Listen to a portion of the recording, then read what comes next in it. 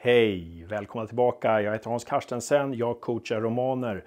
Jag ska coacha dig och idag ska vi framför allt prata om en sak. Vi ska prata om stanna i krisen. Det låter farligt, men det är det inte. Okej, okay, innan vi börjar, ta och prenumerera så tillhör du romanskrivarfamiljen på riktigt. Och så missar du inga avsnitt heller. Okej, okay. stanna i krisen var det.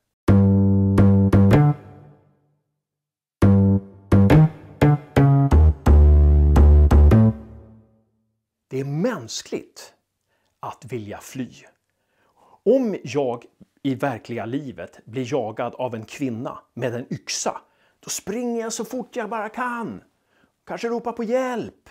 Men om vi är författare och skriver om en person som blir jagad av en kvinna med en yxa, då vill vi inte och då ska vi inte fly därifrån direkt. Varför inte det då? Nej, därför att läsaren läser ju för att uppleva just sådana här saker. Läsaren vill ju att protagonisten eller perspektivpersonen ska hamna i trångmål, ska hamna i knipor. För läsaren vill ju bearbeta saker som hon inte får uppleva i sitt vanliga liv. Det är ju därför vi läser. För att få vara med om personer i kris. Vi vill stanna i krisen. Det är liksom vår själva belöningen för vårt läsande. Vi vill inte bara att en person ska bli jagad av en kvinna med yxa och sen ramlar kvinnan och sen är berättelsen över. Nej, det är ju när de möts. Det är ju där vi vill att texten töjs ut lite mer. Vi vill ropa till författaren stanna i krisen, det är där jag vill vara. Men ibland blandar författare ihop sig själv med sin berättelse. Så när deras protagonist eller perspektivperson hamnar i trångmål så gör de slut på det, upplöser faran, upplöser krisen. Det finns många sätt att upplösa krisen på. Till exempel om jag i en berättelse blir jagad av en kvinna med en yxa så kan jag skämta bort det. Aha, det där var egentligen inte en yxa, det var bara en falukorv. Och det var ingen, det var, det var ingen farlig kvinna, det var min mormor.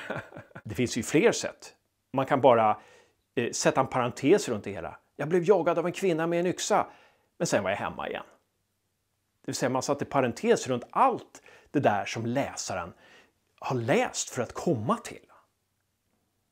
Kanske för att man tycker att det är lite obehagligt att skriva. Man blandar ihop sig själv med sin protagonist helt enkelt. Ett annat sätt att upplösa krisen det är att inte definieras noga ja, jag blev jagad av en kvinna med yxa och sen så vände jag mig om och så var det något blått som var där. Och jag vet inte riktigt var jag var någonstans. Man upplöser hela logiken för allting. Och det blir inte spännande. Stanna i krisen handlar om och nu ska du få göra den första övningen. Här har jag skrivit ett ganska spännande scenario som jag tycker din uppgift blir att försöka upplösa den här krisen, att göra det mindre spännande. Hon stod till slut öga mot öga med den person som mobbat henne i hela mellanstadiet. Nu skulle hon få sin hämnd. Så fortsätt på min text och gör den mindre spännande.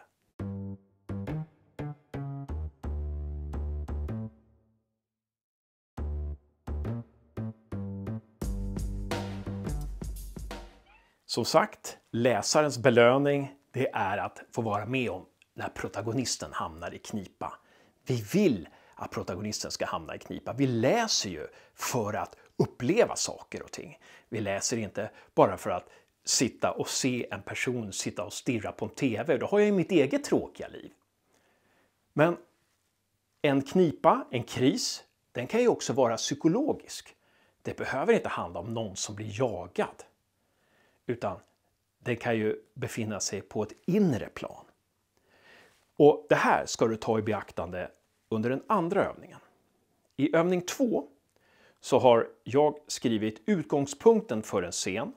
Jag skulle vilja att du fortsätter att skriva en dialog här mellan fadern och sonen. Sonen har dukat fram en sockerkaka som han precis bakat.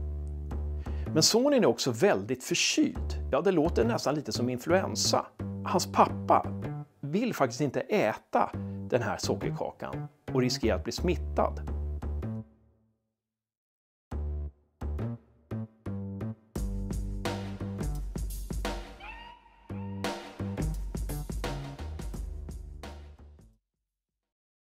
Stanna när det bränner till. Våga vara kvar.